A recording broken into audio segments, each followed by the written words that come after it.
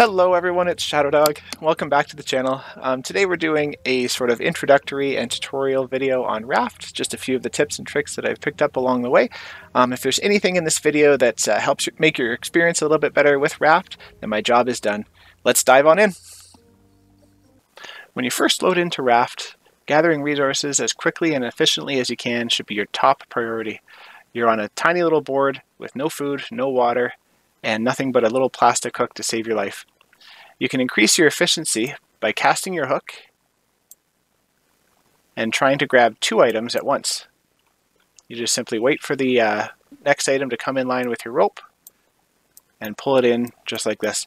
Make sure you to do your best to grab every single barrel as they're loaded up with goodies and they're the only way before you get to their first island to get things like rock and scrap, which you'll really need later on.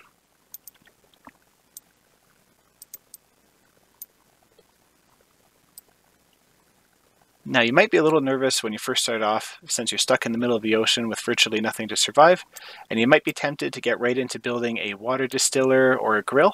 Um, I'd encourage you not to worry. Um, the first island that you see, you can see one's just coming up now.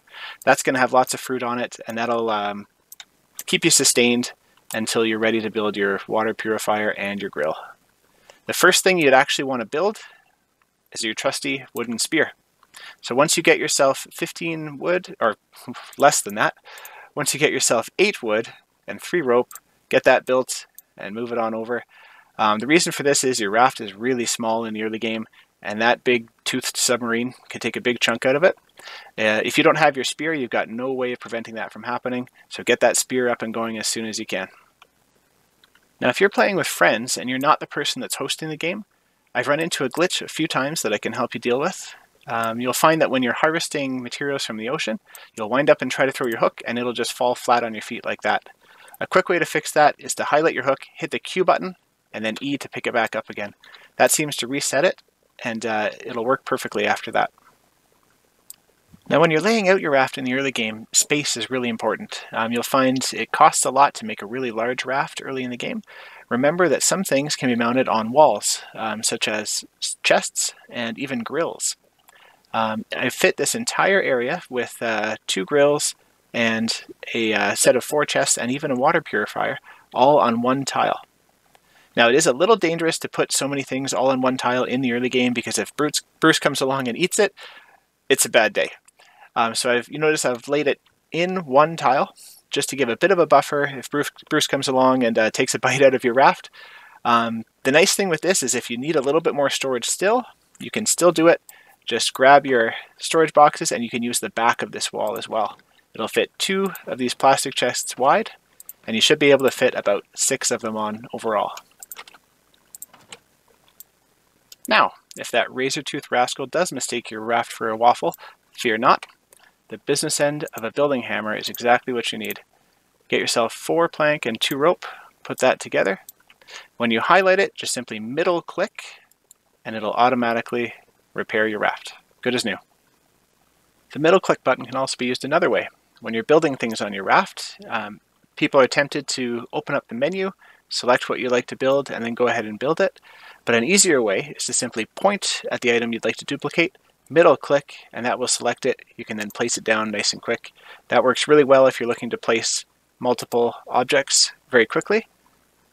It can also be used with your paintbrush. If you'd like to paint something, and you, and you would rather not go through and select the color, simply point at something that's the same color, middle click, and then move on to painting. If you've realized you've made a mistake and you'd like to unpaint what you've just painted, simply highlight something that isn't currently painted, middle click, and there you go.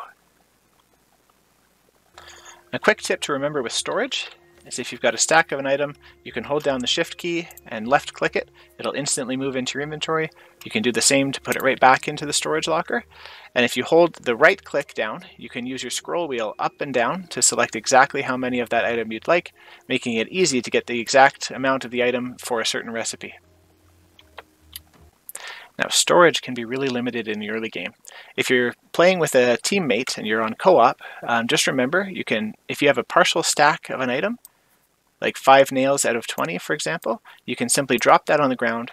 If your teammate also has a partial stack and the total number would add up less than 20, he can pick it up. And you'll notice that it doesn't add anything to your inventory and it frees up a space for you, letting you spend a little bit more time on islands or under the water gathering resources. Having effective storage is also really important in Raft. It'll save you the time and trouble of running all over your raft to try to unpack your inventory, figure out where all these potatoes are going, and uh, not not waste a lot of time.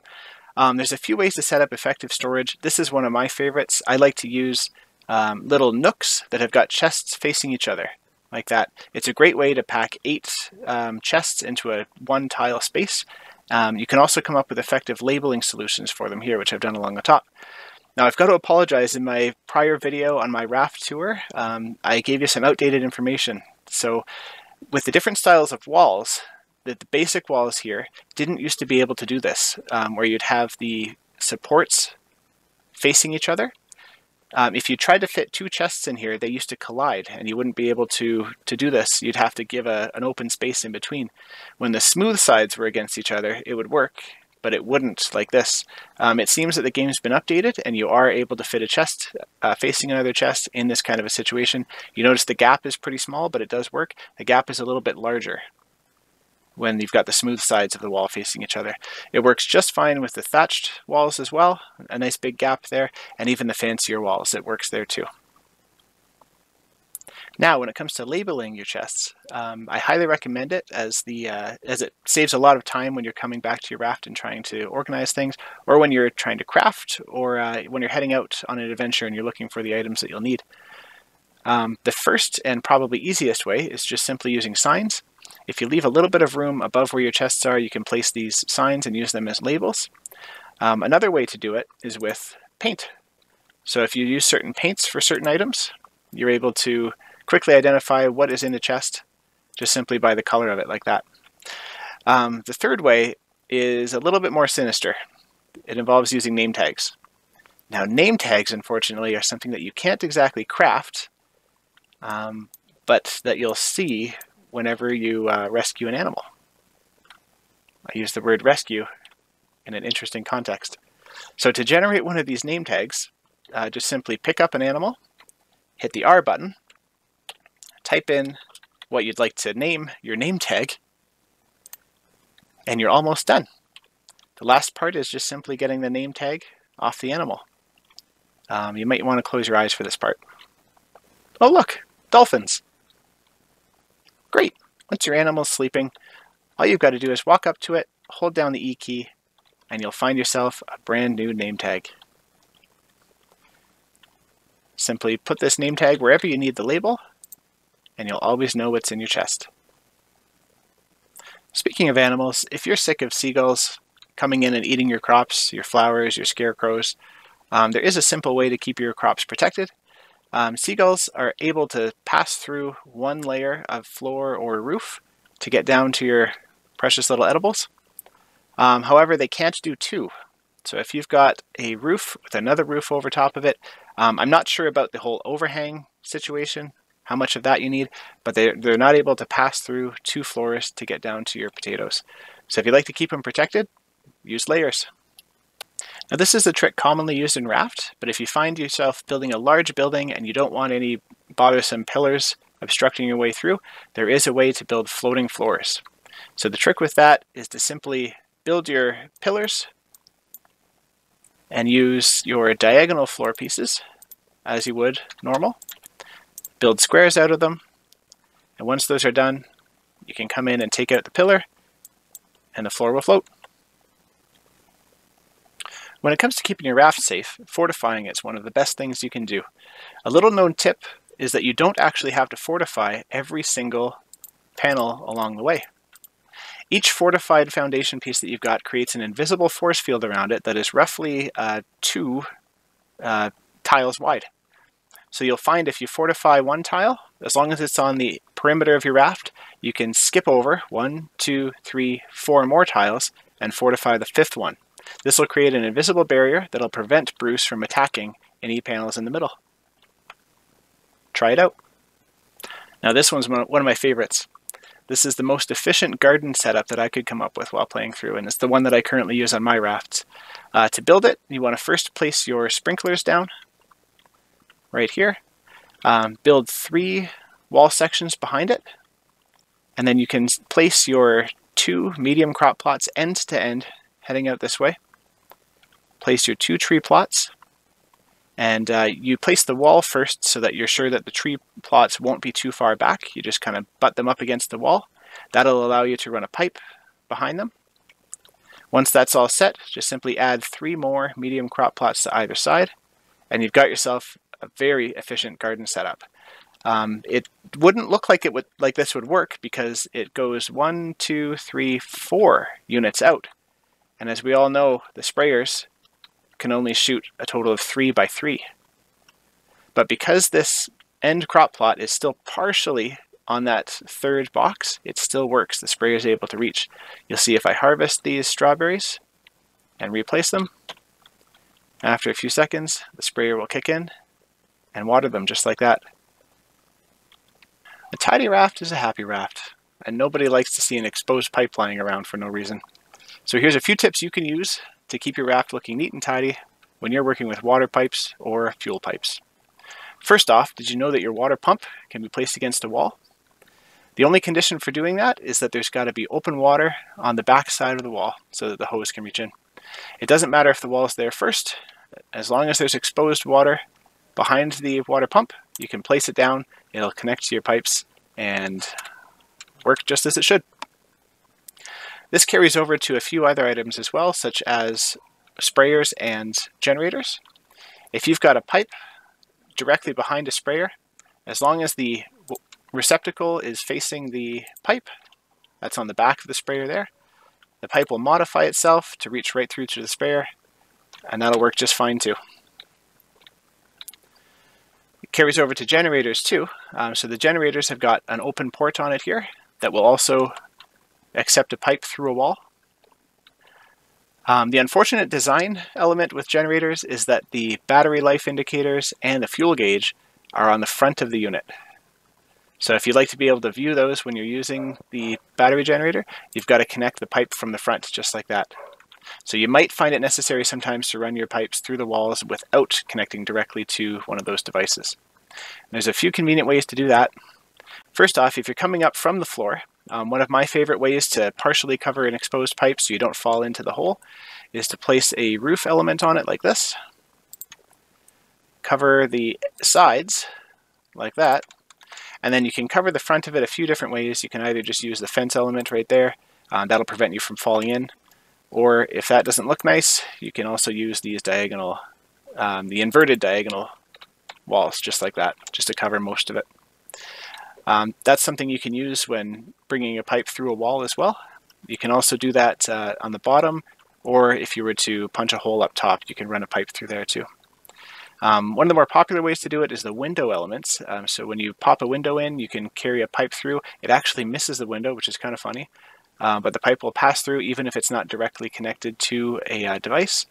You can do that on the top of a wall panel or on the bottom, just like that. When you're coming up to your first island and you haven't got the resources to build an anchor just yet, don't worry. You can often just kind of crash into it and your raft will stay stuck. You can have all the time you need to hop into the water, harvest some resources, battle Bruce, whatever you've got to do, just remember to double check for the uh, fruit that's on the island so you can top up your thirst and your hunger. And when you're ready to go, craft yourself a paddle.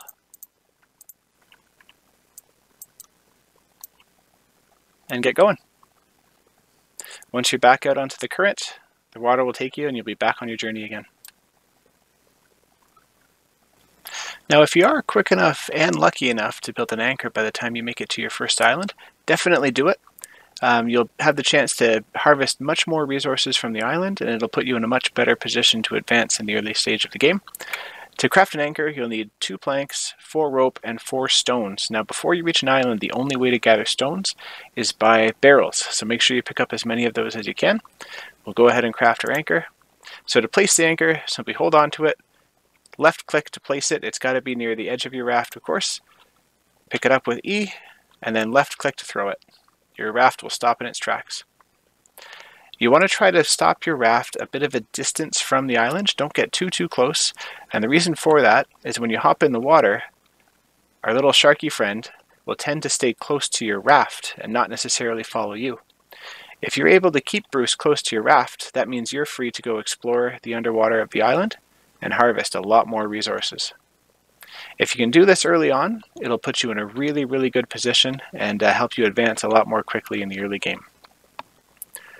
Now, when it does come time to fight our finned friend over here, um, there's a few tips to do it. First off, um, use a spear rather than a machete. The machete is a weapon that you get a little bit later in the game. The spear has got a bit of a longer reach. Um, if, if you have a bow and arrow, of course, that's got an even longer reach. We'll get a little closer here to Bruce so we can have a look. Now Bruce will eventually charge at you. He's not very hungry right now, is he? There we go.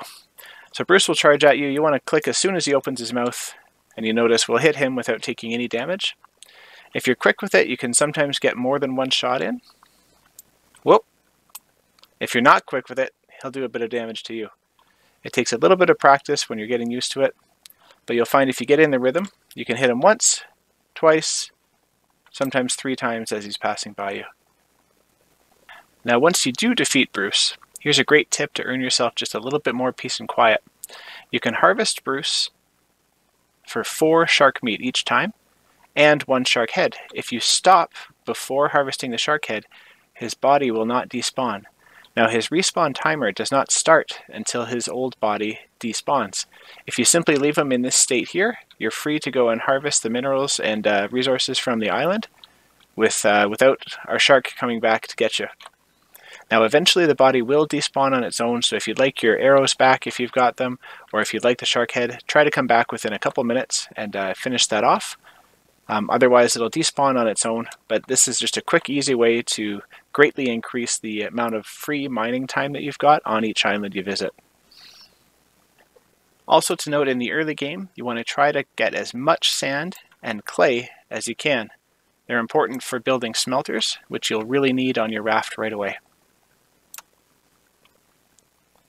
When it comes to engines, we all know that each engine has enough power to move 100 foundations. What, what a lot of people don't know is that that rule stays true up to a maximum of 600. Once your raft is larger than 600 foundations, you don't need to add any further engines. You'll notice my raft here has got eight engines, and that's actually overkill. It's more than I'll ever need. Um, I didn't know that rule when I was building this first raft, so I built it with eight instead of six. But if you're building a raft, there's no reason to ever go further than six engines. Honey is something that often comes up in discussion with raft. Um, if you scour YouTube, there are many, many brilliant designs for honey farms. This is the one that I use on my raft.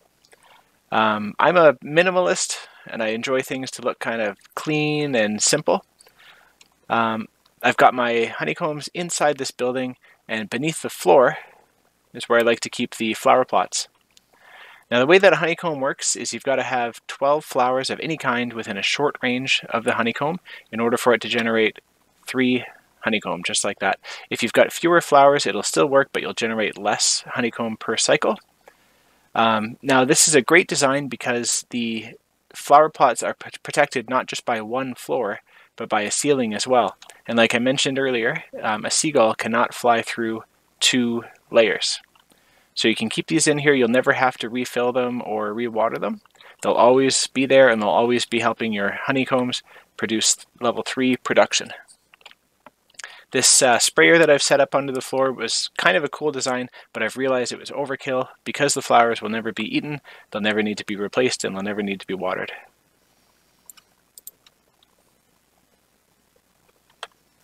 Does your pinky finger ever ache after two hours of holding down the sprint key? Here's a great little tip. Open up the escape menu, go under settings, controls, and enable toggle sprint. When that's turned on, instead of having to hold down the sprint key, you just tap it once and it'll be on until you tap it again. No need to hold down that shift key anymore. And I've saved my favorite tip for last. Now this one's a little tough to show in a video, but have you ever found yourself in the situation where you're full of a certain resource and you want to turn all of your leaves into rope? Now sure, you could sit there and click 200 times like this, But you'll find if you go on Google and you find software for your mouse, it's usually manufacturer specific, uh, you'll be able to download it and program a macro into your mouse. What I've done is I've got a special button on my mouse that uh, when I activate it, it rapidly clicks over and over again. You'll have to maybe find a YouTube tutorial on how to do this, but I highly recommend it for Raft uh, because you can turn this into this.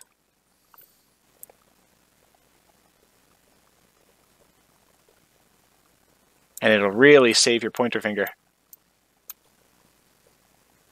Thanks again for watching everybody. Please leave your favorite tip in the comments below. This was my first time ever putting together a YouTube video like this. If you thought I did okay, please like and subscribe and we can watch this channel grow together. Till next time.